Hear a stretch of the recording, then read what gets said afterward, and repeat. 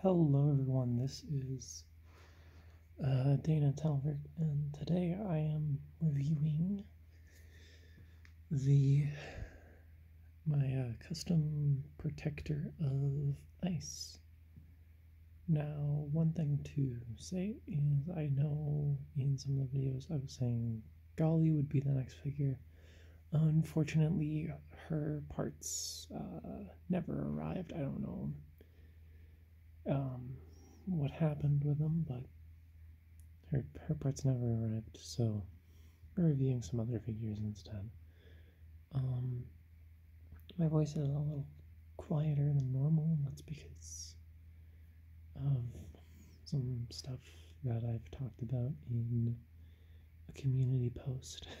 So won't go over that. Um, but here's the figure.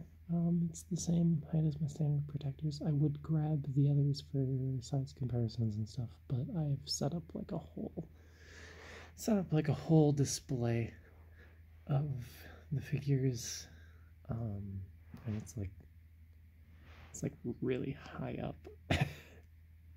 and I don't feel like pulling everything down just for some size comparisons. So here he is. Um, he's pretty basic, has very basic articulation, just ball jointed shoulder, hinge elbows, ball jointed wrist, um, ball jointed hip, hinge jointed knee, ball jointed ankle, ball jointed head, um, and then his shield can kind of rotate because of just the way that I attached it. So you could kind of make his shield look more like a. You could either have it like as a shield, or you can have it as like a effect part of like some sort of super powerful uh, element laced punch.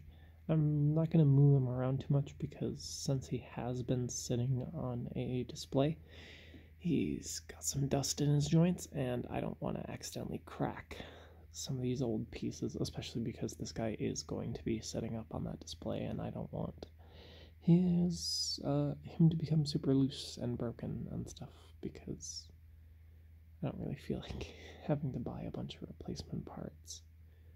Um, so another little thing, he does have a extra little bit of armor on his back, which I think is a nice little touch. You can imagine it either as extra armor or as like a as like a backpack or whatever you want to imagine it as. Um, I just really did it to cover up some space, but that about does it for this figure. He doesn't really have much to do, and obviously because he's been sitting on a shelf and has dust in his joints, I don't.